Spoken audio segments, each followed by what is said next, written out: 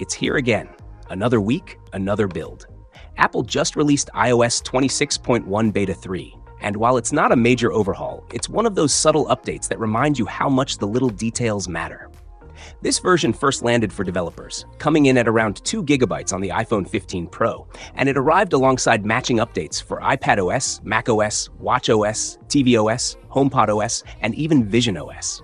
So, if you're fully immersed in Apple's ecosystem, there's a lot waiting for you to update this week. In Settings, General, About, you'll now see the new build number, 23B5064E.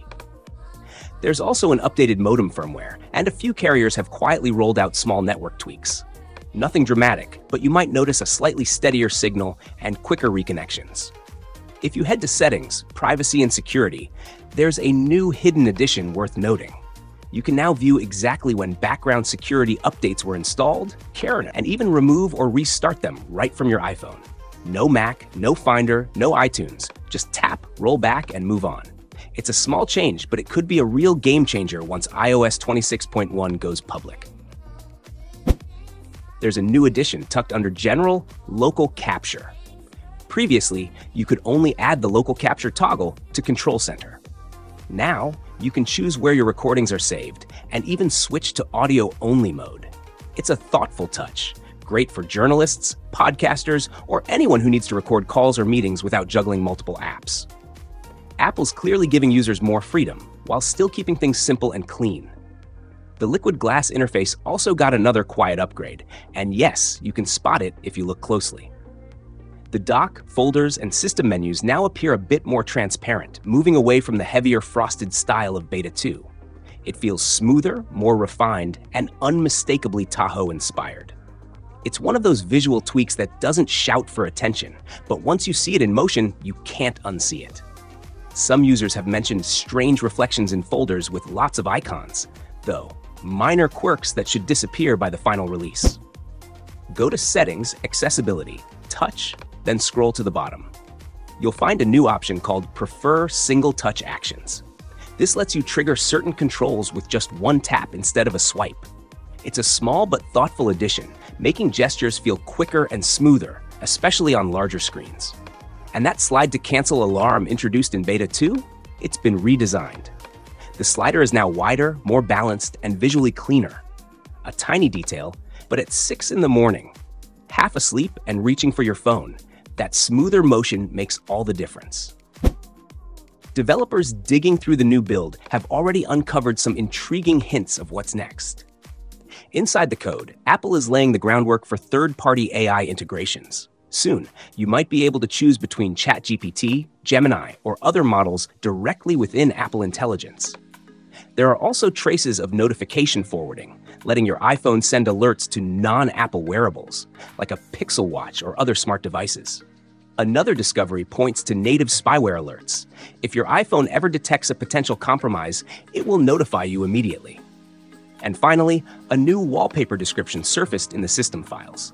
Ethereal currents of vibrant light flowing into serene darkness. Sounds like another elegant liquid glass moment is on the way. Alongside this beta, Apple quietly rebranded Apple TV Plus to simply Apple TV. The app icon now has deeper colors and sharper edges, giving it a cleaner, more polished look. It could be a sign of something bigger, maybe a new home-focused Apple TV device on the horizon.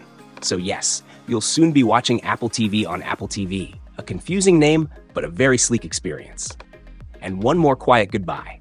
Apple Clips is officially gone the short form video app has been removed from the App Store, and Apple confirmed it won't receive any more updates.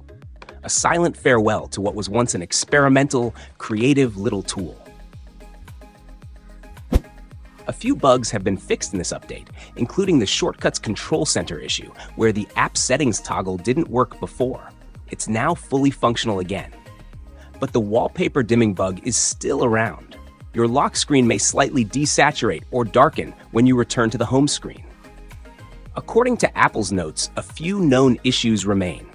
The airdrop icon in the share sheet can show small visual glitches, and using lock screen apps like Calculator or Notes may cause the device to sleep unexpectedly.